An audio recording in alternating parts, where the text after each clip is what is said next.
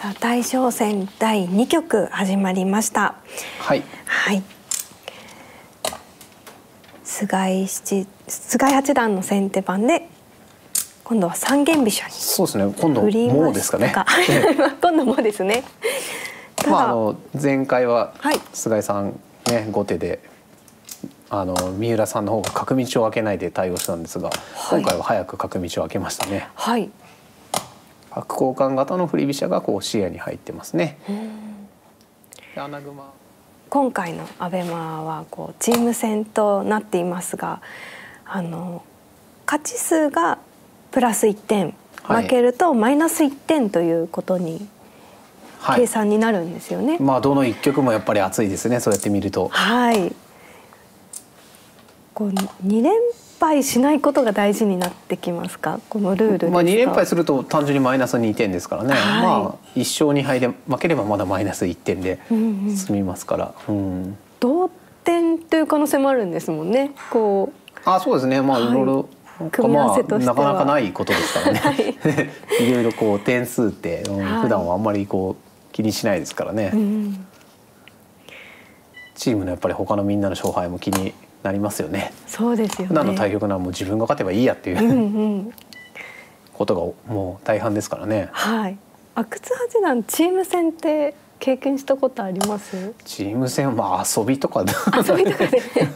まあ基本ないですよねうん棋士はやっぱり個人勝負が多いですからね、はい団体戦とかこう向いてない、向いてないというかそういう思想がまだない人がもう多そうですから。でもやっぱり団体戦になると簡単には投げれないとかうん負けれないとか。まあそうですね。普段からまあそうでしょうけど普段以上にとかね、うん。まあチームのことを思ってとかいう方がプラスに働きそうな気がしますが。はい。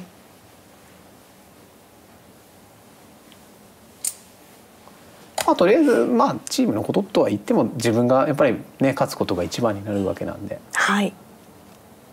まあ、それにねこう集中するというのが一番いいんでしょうかね。うん。序盤からアイアナグマかと思ったら全然もう5筋から早く動いたりしてそうですね。華々しくなりましたね。はい。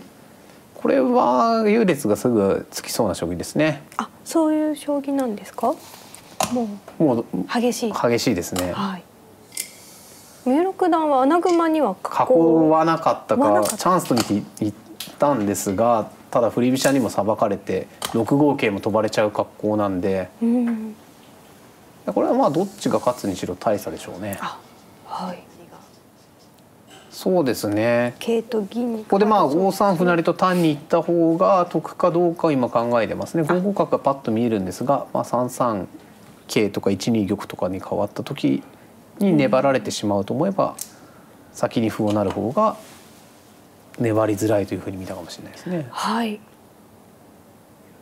ということで今五三歩う成んまあ形勢は結構はっきり菅井さんの方がいいと思いますね。うんやっぱこんな左系がさばけたらねはい。お手本のようなさばき方ですよね。そうですね。またしっかり穴熊に囲えてますもんね。ええ先手は。後手も後手穴熊でどうかですもんね。はい。3二銀の一手も入ってないですから動いた割にこううまく対応されてしまったかなと。うん。やっぱり振り飛車指し慣れているんですいや。うん、こうなるなら振り飛車やりたいですね私も。角で行くんじゃなくて銀で行きたかったんです銀ね。すぐ王手してしまいたくなりますが。がそうですね出るならすぐに出れたんで先に5三歩になったっていうのは銀で行くつもりだったということでしょうね。うん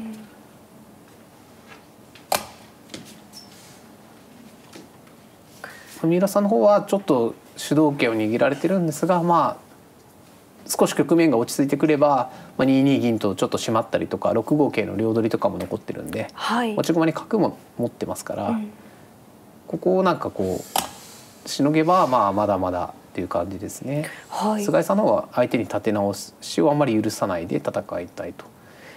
今まあ、3六歩はまあ実践的な手ですね3五歩とかとりあえずついて、すぐに六五桂は？まあ、6六角が飛車取りに当たるんで切り返されてしまう。ええまあ、8二飛車はその次こそ6六角を当たらないようにしたのと、まあ、飛車の横利きで守りを防御力を上げた手ですね。ああ考えてるんですかね。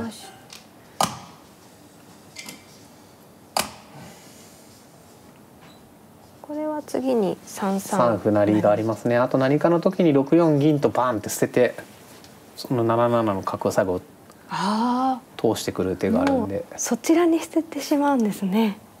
そうですね。5八歩成はだから結構強い手で意外というか3五同歩で一回取るかなと思ったんですけどね。はい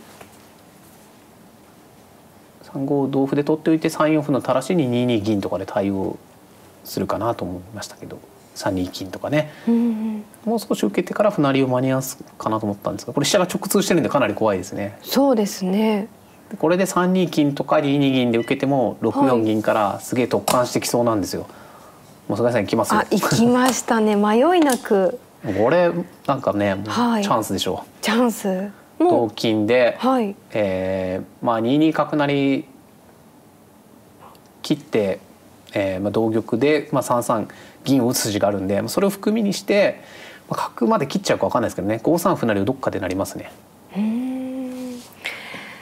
これは振り飛車がペースをまたはっきり握ったんじゃないですかね。はい3五一回取っておいた方が受けやすかったかなと。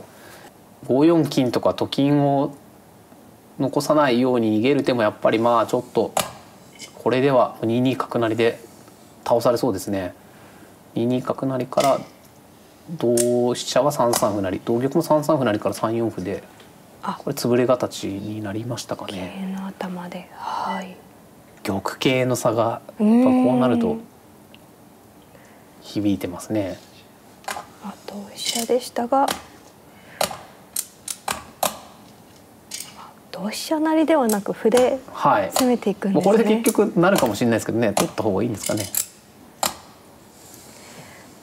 なるほどこうやって攻めていくのがいいんですねまた羽駒を残してですかね。はいすごく参考になるまあでも単に三三同飛車成の方がいいいいかもしれないですけどね。そうですね まあこれで三二歩とか受けられた時ちゃんとすっきり決まってるのがちょっと。まあ、形勢は多分振り飛車がまあリードはと思ってるんですけど、はい。その単に三三同飛車成よりこれが良かったかどうかちょっと微妙というか、うーん。難しいところだっええたんですね、すごいペースで進んでますけど、はい。早かったですね。いやまあ一はい。六歩ならこうやろうと決めてたんでしょうね。でこれがまた遠いですね。角とかを渡して攻めるとやっぱり6六角とか5五角がこう竜取り詰めろになる形だったんで急にはいけなかったね、渡せなかったんですね。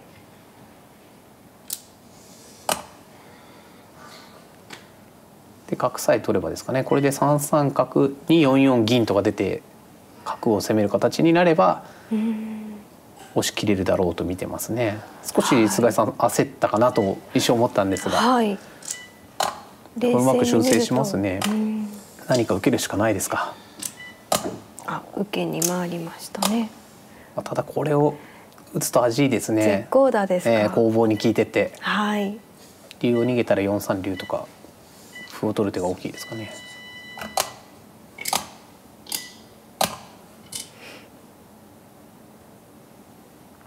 決めどころというか、えー、おーしっかり受けますね 絶対負けないぞとはい。でもこう三浦九段も嫌味嫌味と。そうですねこうなんとか食らいつこうとしてますね、うんただこの瞬間が、はい。えーまあかなり安全ですからこの辺で攻めに行く手もあるかなと思いますね。駒入ったら詰ますぞとプレッシャーをかけておいても後手からはちょっと指す手がないかなと思うんですが、行きましたね。四三え竜。ー、2一金とか受けるんですかねちょっと戦力がないですけどあ、でも打たれましたね。もう竜は渡しちゃっえー、4ていいんですね。三金同銀成という形もちょっとこれでもう一枚角あ詰みがあるんですね。はい、ここで三浦九段の投了、菅井八段の勝ちとなりました。